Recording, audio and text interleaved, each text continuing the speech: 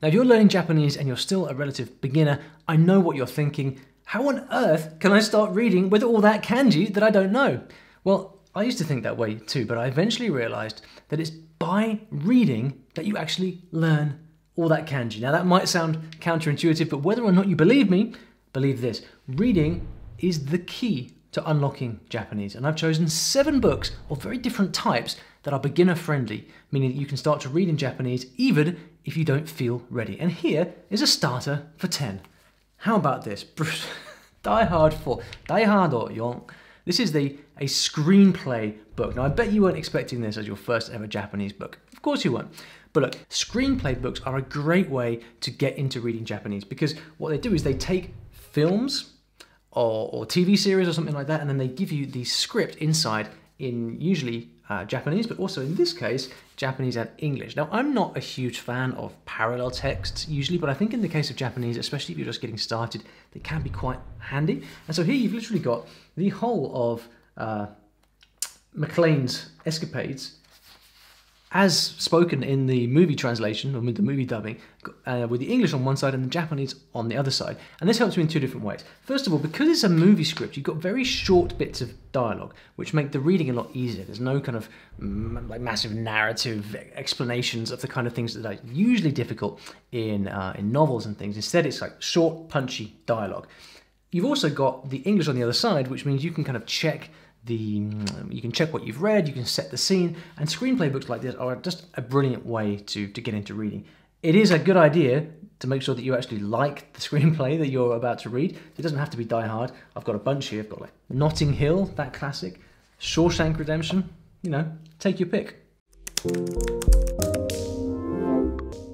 Welcome back to the channel guys, my name is Olly Richards and this channel is all about helping you learn a new language quickly using the power of story Stories like uh, a Shawshank Redemption, what a story, so that you can become fluent faster and live your best life. And next up, number two, we have Yotsubato. Now, this is a manga book, and I'll be the first to acknowledge that not everyone is interested in manga, myself included. But let me tell you, manga can be an amazing introduction to reading in Japanese. And if you are uh, an early beginner, I can't think of a better manga book series than Yotsuba. Now, it's about a quirky young girl and her everyday adventures uh, she learns about the world around her and figures out how to solve her problems. This kid is very naive for her age and gets things wrong, which makes for some quite humorous stories, I'd say. It is highly accessible, both in its language and its word choice, with plenty of hiragana to help you out, and also 15 issues to collect. This is number two. Uh, and don't, don't be deceived by these seemingly childish topic. There's a lot of meat in here, and that's what makes Yotsuba one of the best manga for new readers to start with. Now, third up is one of my books, 30 Day Mastery. This one here is amazing adjectives and adverbs. Now, this is these books have actually been designed to teach uh, specific aspects of the language, like in this case, adjectives and adverbs. I have another book on kanji, but that's not really the point here. The reason that this is here uh, in a video about books to read in Japanese is that this series is based on, um, on a 30-part story. And the idea is that you read one chapter every single day for 30 days and that helps you focus on the specific language point. But anyway, these stories have been written very carefully to be accessible for beginners. So one of the things I've also done with these stories is I've formatted them in a way that makes them really easy. I often don't like the way Japanese books are formatted, especially textbooks for an international audience. It's not very nice, but I've really formatted them here so that they are really accessible and easy to read for, for beginners.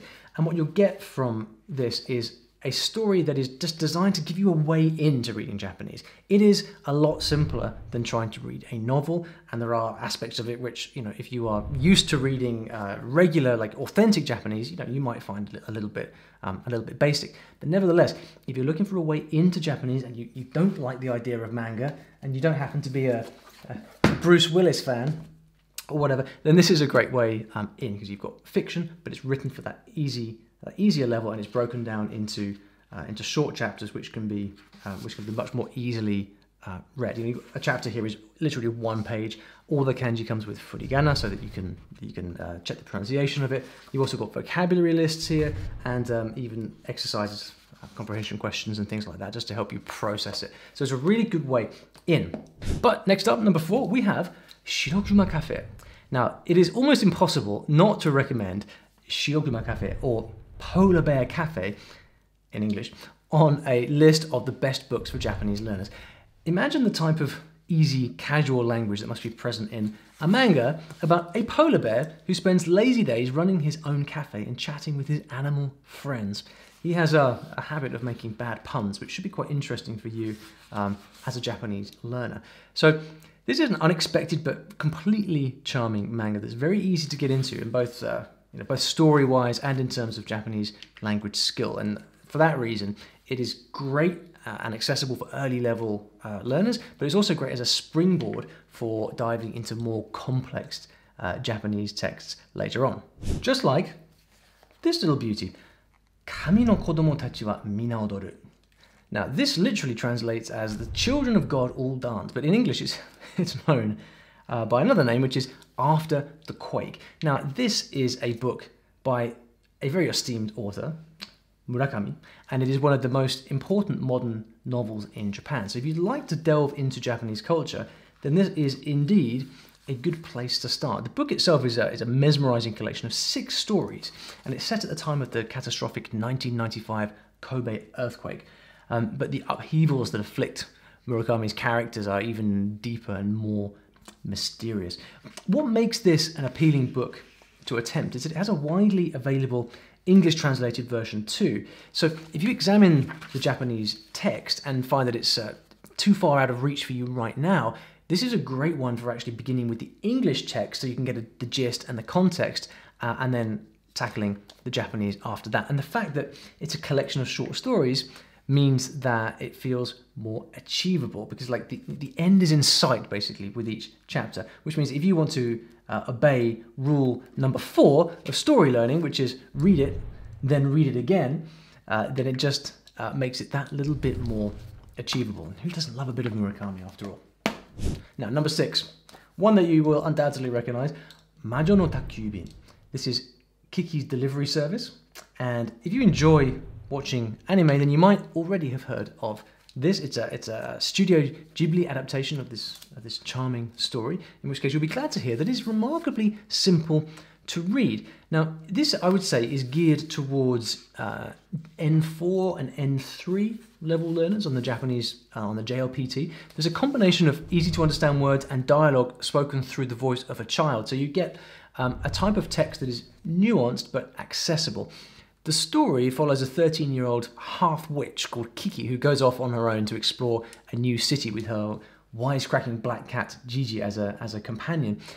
It's an enchanting story about finding inner strength, and it's, uh, it's pretty easy to digest as it has these little standalone chapters. But if you don't feel you're quite ready to tackle a full book just yet, then I have just the answer. Another equally famous book that you can also find in English Kichin sounds just like kitchen, doesn't it? And that's exactly what it is from uh, by Banana Yoshimoto, who's uh, a very famous name in the Japanese literary world. This one is a full-length novel about a young woman who struggles to cope after her grandmother dies. She, she gradually gets close to one of her grandmother's friends from a flower shop and ends up staying with him and his transgender mother. It's an interesting story.